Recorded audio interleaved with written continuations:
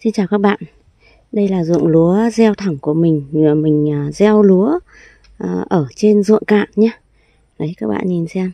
À, Cái ruộng lúa này thì từ khi mà mình bắt đầu gieo hạt Xong rồi mình tỉa và mình chăm sóc đợt 1, đợt 2 Mình đã chia sẻ với các bạn rất là đều đặn.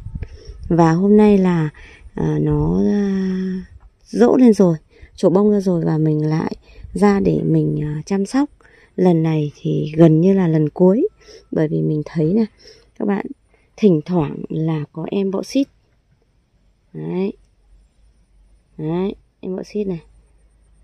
Đấy. Là một thứ hai nữa là có thỉnh thoảng có một bông gọi là à, bị bạc bông. Thì nó hiện tượng là bị sâu đục thân và có những em nhện. Đấy mình quay cho các bạn xem đây là em nhện này. Đấy. Và thỉnh thoảng có em bướm. Thế nên là mình mang thuốc vội vàng ra để phun. Bây giờ nó là vào 3 giờ chiều. Nhưng mà trời thì hôm nay là nó uh, dâm và nó như kiểu muốn mưa ấy. Đây. Thỉnh thoảng có một bông coi như là bị uh, khô bị trắng này sâu đục thân này các bạn này. Đấy. Bông này là bông sâu đục thân này. Thế mà nếu bây giờ chúng ta mà không phun thì cái sâu đục thân này nó phát triển rất là nhanh. Thế và bọ xít nó hại.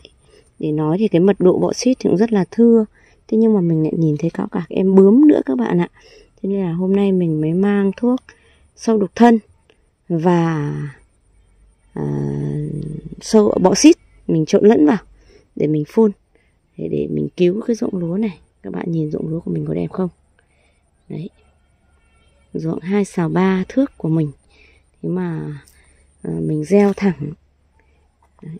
xung quanh là người ta trồng ngô này trồng sắn này. Đấy, mình quay cho các bạn xem ruộng ngô. Trồng ngô trồng sắn. Nhưng mà ở giữa là mình cấy lúa. Bởi vì cái ruộng này của mình là mỗi năm là à, mình trồng ngô nhiều quá rồi. Mình trồng ngô 10, 4, 15 năm nghĩa là 10, 15 năm đổ về trước là mình cũng có cấy. Thế nhưng mà à, năm nay thì mình mới bảo thôi 15 à, năm năm rồi mình không cấy năm nay mình lại cấy. Đấy. ở đây cái góc này là vừa cách vừa lứa trước là mình à, thu hoạch khoai tàu thế xong bây giờ mình lại trồng mấy dây khoai lang đây để lấy giống để mai kia gặt lúa xong rồi mình um, trồng khoai lang lấy giống để trồng khoai lang ở cái ruộng này. Nhưng mà bây giờ thì mình phải chăm sóc những cái lúa này đã các bạn ạ. Các bạn nhìn thấy ruộng lúa của mình dã man chưa? Quá đẹp, quá tuyệt vời. Đấy. thỉnh thoảng lác đác là sâu đục thân rồi các bạn ạ. Lại vẫn còn có cả em bướm, lại còn có cả bọ xít. Mà bây giờ cái lúa này bây giờ mình lội ạ. Mình thì cao có một mét năm ba thôi. Nhưng mà cái lúa này bây giờ mình lội thì chắc nó phải đến ngực mình. Đấy các bạn ạ. Nó phải cao cao cao tầm khoảng độ một mét hai, một mét ba cái cái lúa này à một mét hai các bạn ạ. Phải có một mét hai. Trời ơi lúa ơi sao mà lúa cao thế? Bông to nha. Đấy, các bạn nhìn. Bởi vì mình gieo thẳng thế nên là bông nó dày. Bây giờ thì các em nó mới trổ được khoảng độ 80 à, phần trăm. Được khoảng 80 phần trăm các bạn ạ. Thế nhưng mà mình vẫn phải phun bởi vì không phun thì cái sâu đục thân này nó phá nhanh lắm rồi lại bọ xít. Với lại trời này thì mình xem dự báo thời tiết là uh, mai ngày kia ngày kia ba hôm. Ba hôm liền trời mưa. Nếu như trời này mà chúng ta không tranh thủ chúng ta phun thì trong 3 ngày là cái sâu đục thân nó phá hại của chúng ta rất là nhiều. Và có những cái bộ hột nó lép đen đen thế này là các bạn biết không? Là do bị bọ xít. Bọ xít nó ấp này đã bắt đầu đen hạt rồi các bạn này. Đấy thế nếu như mà chúng ta bây giờ chúng ta không phun kịp thời không uh, uh, đuổi bọn chúng nó đi thì là nó sẽ chiến lúa của chúng ta rất là nhiều. Thế và các bạn xem xung quanh cánh đồng rộng mênh mông mênh mông mênh mang thế này có mỗi ruộng của mình là lúa. Và bây giờ bọ xít nó không còn cái gì để ăn nữa. Thì nó quay về để nó cắn ăn lúa của mình. Đấy các bạn nhìn thấy mình chăm được ruộng lúa này trên à, mình trồng màu, thế nên là mình rào B40 xung quanh. Vòng xung quanh nhưng đến bây giờ là mình cấy lúa. Đấy.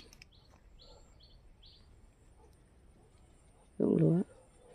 Mình khoe với các bạn là ruộng lúa của mình rất là đẹp. Ai đi qua cũng khen.